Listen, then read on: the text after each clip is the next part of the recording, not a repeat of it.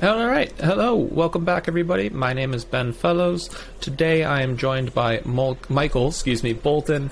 Uh, Michael is the lead consultant of DevelopSense and has a, a couple different websites, developsense.com, rapidsoftware.com, or rapidsoftwaretesting.com, excuse me. Michael, thanks for joining me.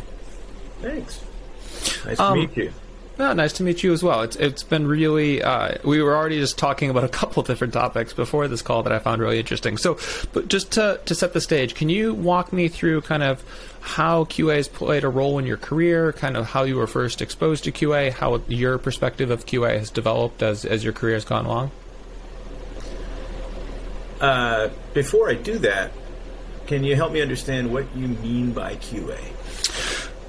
That's fair point. Um, let's see here, because there's a lot of that's a very nuanced, large question, and actually one that I feel like I should have a better definition to. Let's assume that for the sake of this conversation, um, processes, systems, and techniques for helping to ship quality software. But I'm curious by like what are the different definitions of quality sur- uh, assurance and software testing that you bring to the table? Because I do think that that's an interesting spot to start in this conversation.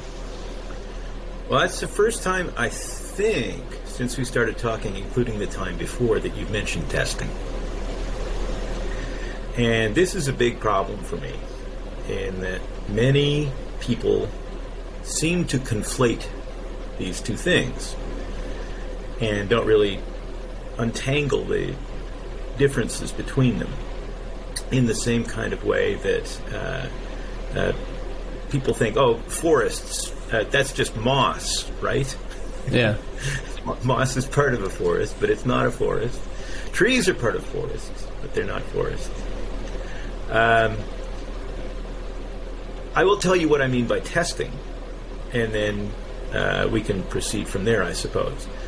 Uh, for me, and for my colleague James Bach, and for other uh, members of the rapid software testing community in the large and the small, testing is evaluating a product by learning about it through experiencing, exploring, and experimenting. Now, that on its own includes a lot of stuff. That includes studying the product, modeling the product, modeling the test space, modeling risk. Uh, it includes uh, uh, examining the product, interacting with it, manipulating it, observing it. It includes generating ideas about how to test it, developing strategies, expanding on the ideas that we've generated, refining ideas that we've expanded on, uh, overproducing ideas, abandoning ideas that we've overproduced, recovering ideas that we've abandoned. It includes critical thinking. It includes navigating through the product. It includes map making. It includes collaboration with other people. It includes analyzing risk and doing all this in a, a, a cyclic, uh, fractal kind of way. Um, that is, uh, we look at the big stuff and we look at the little stuff. We zoom in, we zoom out. So, alternation is another dynamic that happens in testing. The reason this bugs me, this uh, uh, absence of the, the clarity of the way people talk about this stuff, is that testing does not and cannot assure quality. Testing can't do that any more than uh, uh, weighing yourself can uh, assure that your health improves. Uh, no more than uh, uh, journalism, investigative journalism, uh, makes a society better.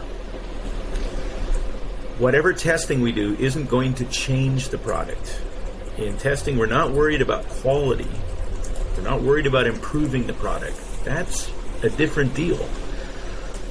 Testing is about finding truths about the product, finding the true status of the product so that the people who do assure quality can do so in an informed way, knowing about what's actually going on in the product. So there's that. Uh, now, you also asked uh, about quality assurance. Here's what I think we can look at uh, uh, uh, here's a way we can look what quality assurance is all about. First of all, on the level of the individual member of the team, the individual contributor to the, the building and development or design uh, of the product in various different dimensions of the product itself, of course. From the perspective of the individual, we can look at it and say, well, I'm, I'm, I can assure the quality of my work uh, to, uh, uh to other people. I, I can provide a warrant for my work and what I believe to be important about it and, and why um, I consider it to be good work. There's another dimension of quality assurance, which is on the management level. Somebody who has the authority to make decisions about where money is spent, how time is spent, about the release of the product, that person has uh, responsibility and the, the role of quality assurance in the in the larger sense. They set the conditions by which quality can be assured, and they are uh, responsible for making sure that it's so. Testing informs that, but testing is not that. And uh, yeah, this is an idea that, that really came to me about 26 years ago in a, a class taught by Cem Kaner uh, in which he, he, made this essential point. And uh, I've been struggling to uh, get that message across to other people ever since. The real quality assurance role in an organization is management. You, uh, um, uh, you mentioned earlier that uh, you talk to CTOs and CXOs of various kinds it's important for them to understand that quality assurance is their responsibility. And that quality assurance is not something you uh, uh, hand off to uh, to testers, thinking that testers are going to change the status of the product. Testers are a form of extrasensory perception for the CTO. Uh, I don't mean you know that that kind of uh, thing. What I mean is they're extra sensory perception. Testing extends the senses of the product. Uh, we get our hands, uh, our fingertips on the product. We get our eyes on the product and our ears on it so that we can experience it and help other people understand what that's like. Yeah, that's really remarkable, right? Because I think that flippantly using the terminology, oh, I'm hiring a, a QA person, or flippantly using quality assurance as this person's job, over time, and it seems like you agree with this point, has somehow placed the responsibility of oh a bug made it into production or why didn't this get caught on the shoulders of this QA person when they're well, a software responsibility. That's blame. Blame, exactly. Yeah, that's yeah. really also an interesting point, which is fun. I mean, the immediate aspect of this conversation is now I'm like starting to even think about my own terminology and just like, okay, right there, responsibility or blame. So, um, that's really remarkable. Thank you. And so, you said you started this with a class, and that kind of opened your eyes, and you took a class. I mean, how has this evolved over time for you? And you said obviously you're trying to change some of this. I mean, walk me through you took that class, your eyes were kind of open to this, and then and what have you done, sort of, on the path trying to to make uh, impact society in this way? Because now I'm starting to. I think what you're happen, what you're watching me verbally do is start to rethink a lot of my own paradigms, and now I'm getting caught up in some of those conversations in my own head, as opposed to just asking you the questions that I probably should be asking you. Uh, well, I, I, I, don't mind. I understand because uh, a, a lot of people have that moment of uh, their minds being blown um, when uh, uh, this sort of stuff comes up. And, and I mean, uh, it's kind of fun to foster that. So I, I get a, a, little bit of endorphin rush myself from from that moment. Um, but it, in terms of, of understanding that distinction, uh, the evolution came, you know, reasonably slowly. I started writing code in 1988 or so. I was working at a uh, a headhunters, basically a personnel agency. Um, and first thing that happened was I, I, took the job that I had, which was a, essentially a data entry clerk, and I started applying tools to that job. Um, first thing I, I got was a, a there was an off-the-shelf uh, macro processor that allowed me to enter data faster, uh, or that allowed me to to uh, do uh, repetitive things automatically, touch of a button. And that was kind of cool because this was a, almost a kind of meta computing in, in, uh, in my mind back then. I can use a computer to help me do stuff on the computer. Then I realized that the database software that this organization had was, in some respects, uh, uh, wanting. The uh, developer had designed it, great developer, so far as I can tell. I, I never found any um, uh, errors in the code that could be traced to, to uh, any sense of incompetence on the part of the programmer. Sometimes we would run into a printer that wouldn't uh, handle the stuff properly. Sometimes we would run into uh, cases where people wanted more information than was available by querying the database. Well, I couldn't do anything about the first thing, but with the second thing, I had been a hobbyist and I had uh, my trusty copy of DBase 3 Plus, uh, which I probably, now that I think of it, was uh, uh, not legal to bring in. I started using that to build software to query the underlying database the, the, the tables and so on and so forth. And in doing that, boom, I suddenly became a software developer. Uh, you start being a software developer as soon as you start developing software. And as a consequence of that, I immediately became a tester as well. Because if you're going to build anything, you are going to need to decide whether what you built is what you intended to build or whether there are uh, things wanting. Another thing that happens, by the way, in testing is you find out that your intentions were met, but your intentions really weren't good enough to solve help solve problems for other people. That, that's two dimensions of uh, what testing helps us to understand. One is, are there problems in the product? Another is, uh, are there problems left unsolved by our attempt to solve the problem? And the third thing is, uh, I suppose, uh, have we introduced new problems on the way to solving the uh, initial uh, list of problems that we intended to solve? Okay.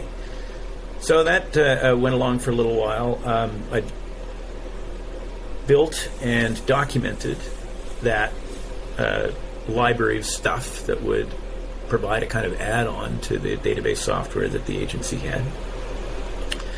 Uh, in there, I started uh, assisting with uh, network management at this place. Very small organization. There's another fellow who is uh, responsible for uh, installing and managing the network. Bear in mind, this is 1988 still, so it was quite a while ago.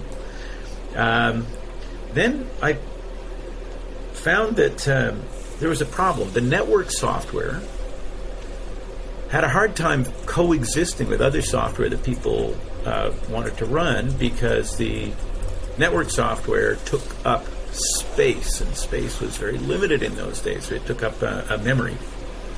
Had to be running all the time, took up space in the, the amount of me- memory available with the computers. So I started working with a memory manager. Um, found it confusing and, and uh, troublesome. Got on the phone uh, to the tech support people there, and then my manager came in and said, "You know, I, I understand you're you're kind of chafing at the bit in this job. That memory management company has a job ad. They're opening a Toronto office.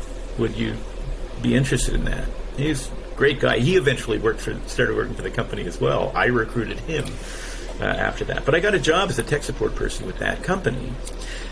And then I became a tester in a whole different way because customers were calling in with uh, uh, essentially problems that they were experiencing with our software, but problems they were experiencing with their own software that our software helped them to reveal. Our software put the processor into, into a different mode in which certain things you could get away with ordinarily in a, a, a software package, uh, you couldn't get away with them uh, because the, the processor protection features were turned on. So they would call up and they would say, we, I just installed your product and now my software doesn't work. Uh, our reply to that would be, we'll try with any other memory manager that puts the processor in the same mode and you're going to run into the same problem here and there. So. Uh, but sorting that out, getting to the bottom of that, required us to test and to uh, study a product that we had not built and uh, study its interaction with our product. So that, that was a form of compatibility testing, really. Uh, of course, occasionally customers would report problems with usability on our product, and there we would have to drop what we knew about our stuff and put ourselves in the position of somebody who is encountering this product and trying to learn how to use it. And so, all of a sudden, even though our job nominally was customer support, we were doing usability testing. Yeah.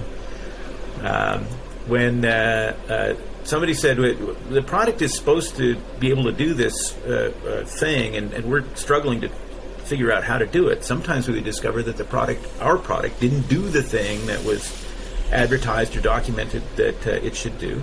Therefore, we were doing capability testing at that point.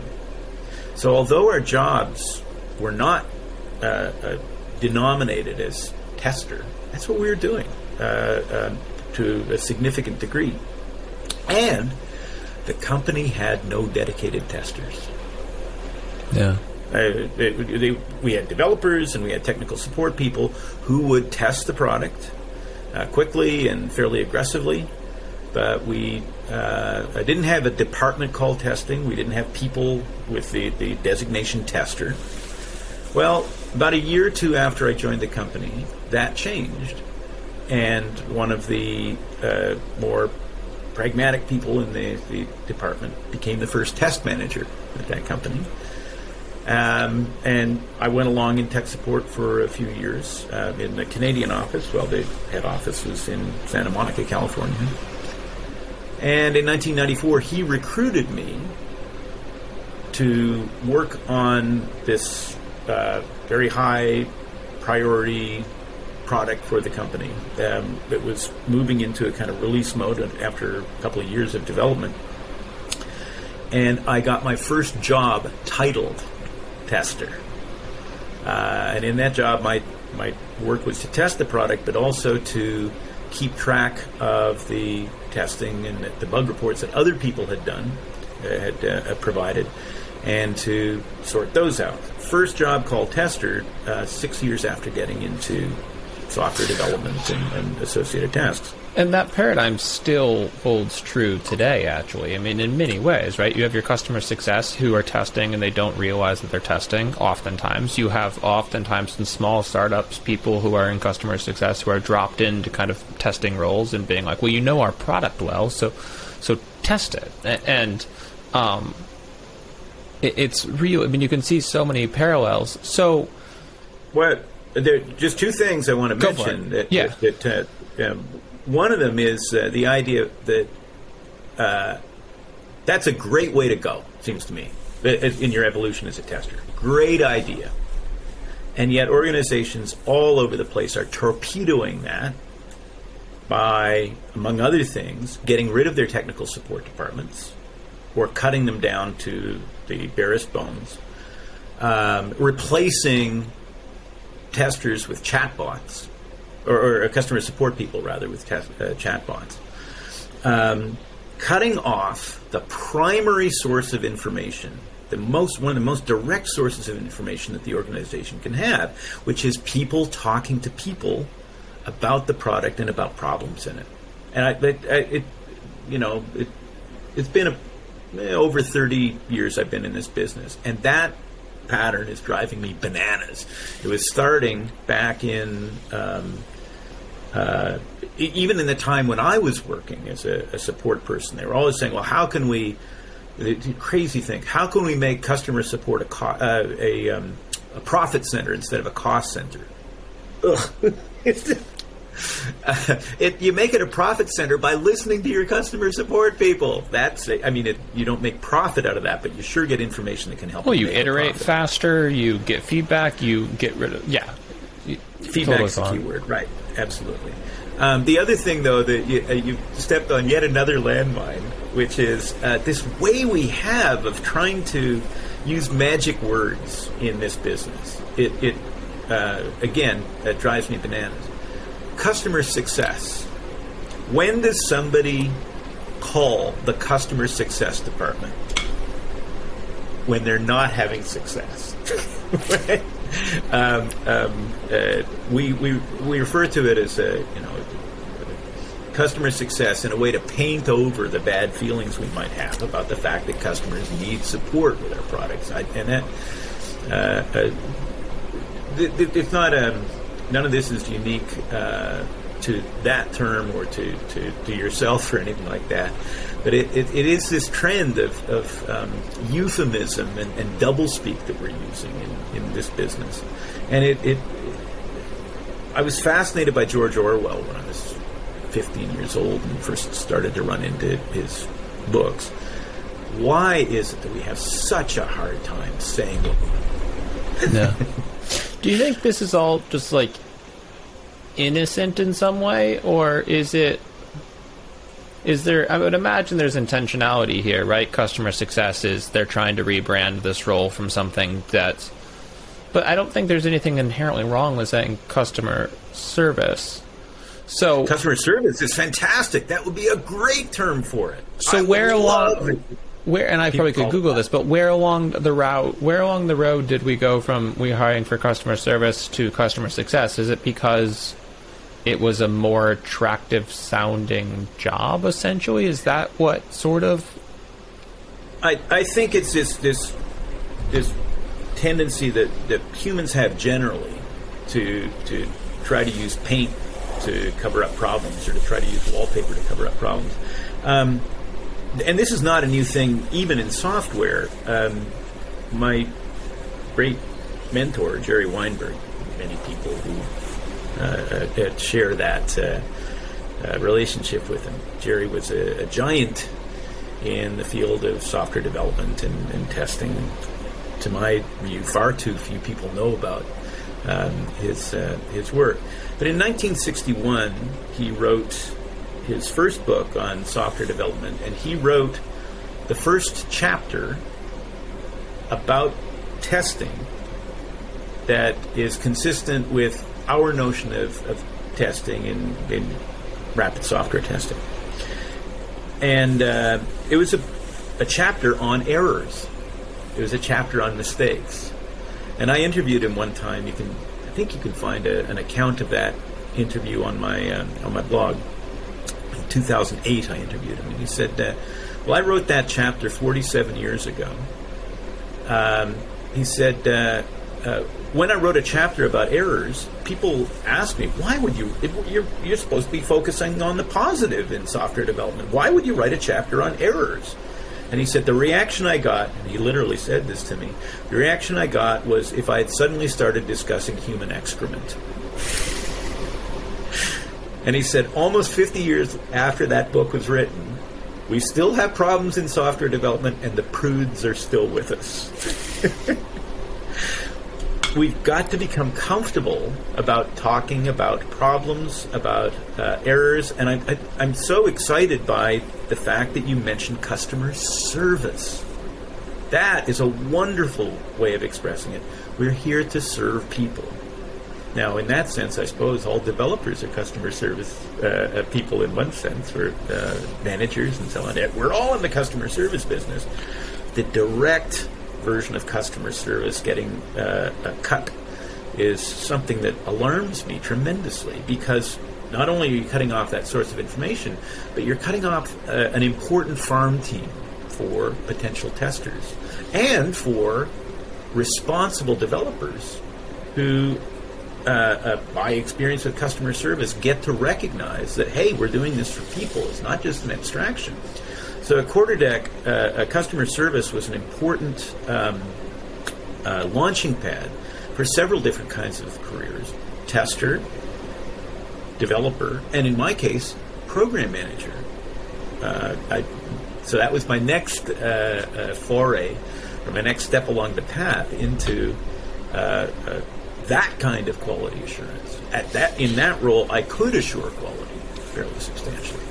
So uh, along this, right? Um, moving up the ladder in the modern day head of engineering CTO, where do they like? Why so often do you feel like they're not sort of head of quality assurance, right? Because it's, I think they think they are in many ways, but they're, I think maybe that sometimes, honestly, it's just an unknown field. Like, I, I, I sometimes I'll talk to CTOs and they just genuinely don't know that much about QA. But I'm curious to know from your perspective, where where is that gap, or is there a gap, or is is there a different way of sort of highlighting how organizations don't necessarily view, to your point, QA as the forest that all, everything happens in, as opposed to just software testing. I'm, I'm curious I, your perspective.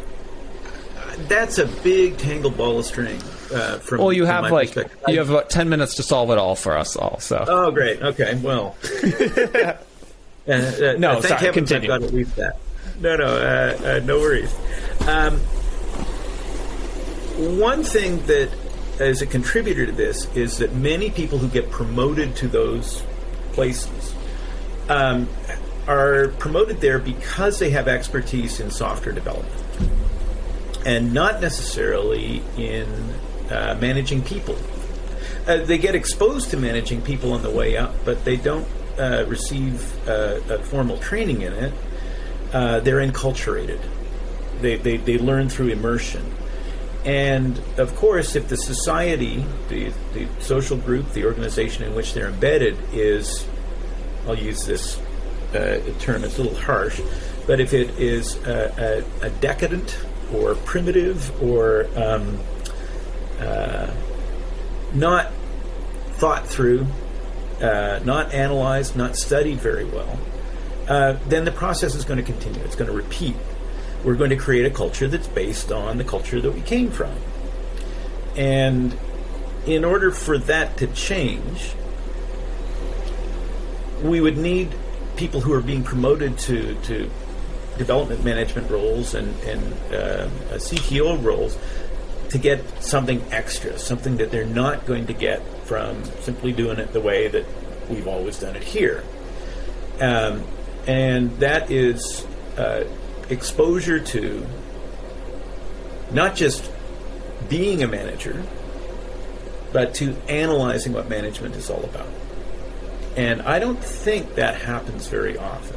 Uh, sometimes in really well functioning organizations, we will have a, a management that um, uh, uh, puts on the on the agenda the idea of feedback and, and retrospection looking on what has happened um, and and trying to uh, understand the, the, forces at work and uh, on the evolution of the, the product and the project.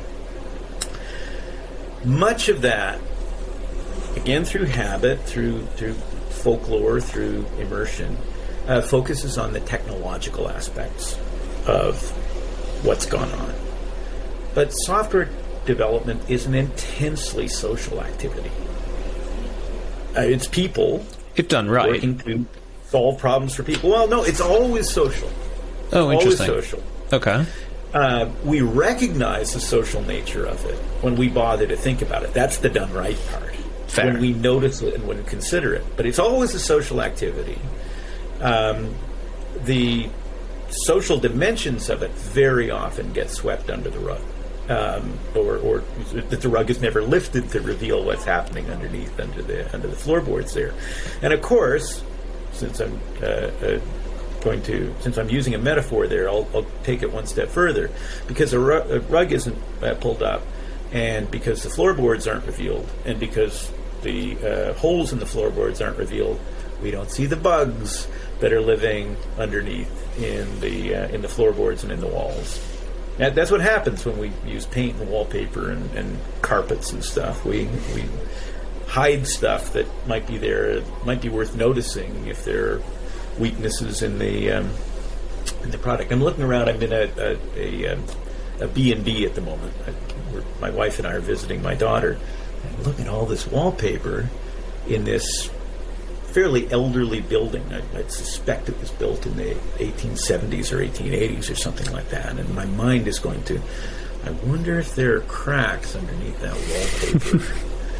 um, and that, that's what software uh, is like. Software has a lot of wallpaper over the deeper, hidden structural elements of it. Yeah. Um, Michael, just a couple things. One is we're at the half an hour mark, and I'm trying to keep these conversations roughly, roughly at that half an hour. On the other hand, I feel like I'm barely scratching the surface of, of your insights and knowledge, and um, enjoying the landmines that I'm walking on because each time I accidentally walk on a landmine, I feel like I have a new way of reframing a lot of paradigms that I've sort of accidentally fallen into. Um, for the sake of this conversation and today and, and trying to keep this at this mark, um, I'm going to ask like uh, once again, we didn't even get into software testing because I think we spent the whole time just trying to even deal with my own, let's call it naivety or sometimes even ignorance about sort of even my own language. Um, what would be a way of wrapping up? Let's focus on just terminology and framing and thinking about how we've gotten away from that for this conversation that people could take away from your insights on it? Boy, oh boy, um, that's almost once as, again uh, very large. Sorry. There's, yeah, there's another half hour for you right there. Here's what I might uh, offer though, as uh, as an idea. Everybody in the project, just about, is focused on success. Everybody in the project is focused on envisioning success. We're trying to build a product. The process of software development is really all about trying to make trouble go away. That's the developer's mindset, that's the designer's mindset, that's mostly the manager's mindset too, I think. We're trying to help uh, people's troubles go away. That benefits from a critical stance that's what makes testers different from everybody else on the project in our way of looking at the world. My job is not to focus on success. My job is not to focus on making trouble go go away. My focus is on make on finding trouble wherever I look. I almost said making trouble by accident. My, but some people view us as making trouble, unfortunately. Well, absolutely. Some people view it as making trouble, not realizing that we're not making trouble, we're revealing the trouble that's already there. Testers yeah. don't help with that because there's a lot of tests sometimes. Because testers sometimes say, "Well, I I break the product." No, you don't break the product. The product was broken when it showed up, uh, or at least the relationship between the product and some person was broken. Yeah. So um, to wrap up, I would say, uh, great idea to envision success. Great idea it's a good idea to periodically yourself focus on how could things go wrong. And it's a really good idea in any kind of society, any kind of social group, to have somebody in that sort of red team role saying, okay, this all looks great. Where might there be problems it? And that is an important dimension of quality assurance. And it is the dimension that uh, testing work and testers uh, address by this uh, um, uh, holding the idea, holding the faith that there could be trouble here. Let's examine what the situation is and, and let's see if we can uh, detect uh, inconsistencies between what we're thinking, what we're believing, what we're saying, and what's actually the case. Yeah, it's it's a shame that I want to stop the recording because I, I, genuinely feel like I have a, a ton of other questions. Michael, I, I, really hope we have the opportunity at some point in the future to continue to pick your brain. I, just this one conversation has been fantastic um, for me, and I just want to say thank you for joining. And, and I genuinely think a lot of other people will find it valuable to hear this and hopefully start to rethink some of their, this for themselves too. So thank you. I really appreciate your time. Well, thank you for for that. Thank you for your uh, um, accessibility, for your openness, and uh, um, for the opportunity to uh, to do this. Please, let's do it again. I'd be delighted. Great. Well, everybody, um, Michael, uh, people can check out your blog. You mentioned that. Um, is it uh, which of the URLs or both URLs or what, what would be the best resources for people who want to read more about what you uh, are producing? What would, what's the best resource? Uh, well, uh, my own blog is at developsense.com, all one word. Um, and uh, the other place where we've got some of this stuff uh, uh, recapitulated, a blog that's shared between myself and James Bach, rapid-software-testing.com. And I'd also recommend having a gander at James's blog as well. Um, it is in these places where we um, uh, publish our observations about things in the world. Um, we offer uh, uh, classes and um, uh, uh, webinars and such in the rapid software testing methodology. That's those opportunities are identified in all three places. Um, and uh, I might add, uh, anyone, anytime, is welcome to contact me. I'm Michael at developsense.com. James is James at satisfice.com. And we both absolutely welcome uh, uh, questions and, and, responses and feedback from uh, from anybody, really and I was in proof of uh, proof of that with a cold LinkedIn message. So thanks again, and uh, everybody, thanks for taking the time to listen to this, and hope to uh, hear from you soon. And Michael, hope that we get the chance again to talk soon. So um, thank you all, and, and, don't forget to like and subscribe. And uh, thank you, Michael, one last time. Thank you, Ben. It's been a pleasure.